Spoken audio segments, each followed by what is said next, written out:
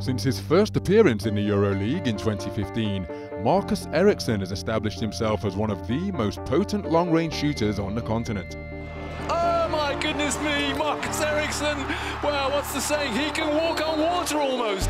That is the wrong man to leave unguarded. Oh, a heat check! Marcus Eriksson with a heat check!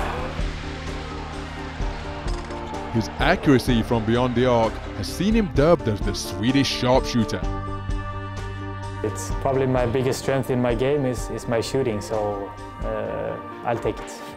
I think in general it's, it's, the last couple of years it's been more and more important. The three-point shot is, I mean, obviously if you get a good look then uh, at the three-point shot then it's, it's a very good shot, you know. Yeah, it's uh, unbelievable. I mean, I've never seen a shooter like him uh, in my years playing. He for sure is the best shooter that I've seen.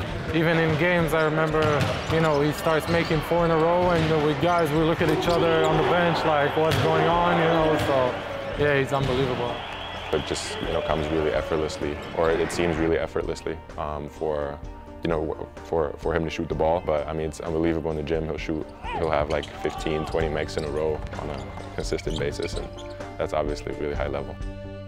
I'm trying to, to mix it up as, as much as possible, trying to improve in, in all aspects because it's, it's going to be harder to de defend in the end, you know. I think before it was like if you're, an, if you're a shooter, maybe running off screens or shooting spot up was like the two only things that you, you maybe did before.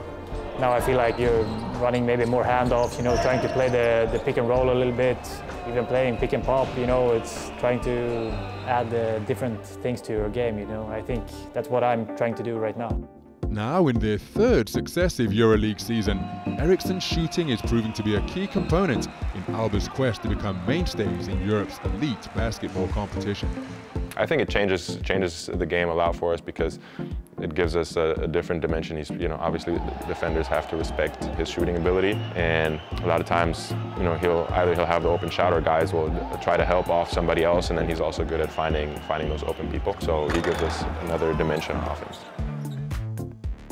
That's my game, you know, trying to move as much as possible off the ball and obviously how we want to play, you know, with a lot of player movement and ball movement. During the years, it's been different. Some teams, it's more strictly, you know, you, this is what you're to do off the ball. Here in Alba, it's, it's been a little bit different. You have a lot of freedom. I do like to watch a lot of basketball. If I see something that I like, I have the confidence that here I can try it out because we have a lot of freedom in our game. I feel like we're moving forward very good, you know, playing-wise. Of course, I would have uh, liked us to win, win a couple of more games. So going forward for until the end of the year, I would hope we, we get a couple more wins and keep on playing good basketball.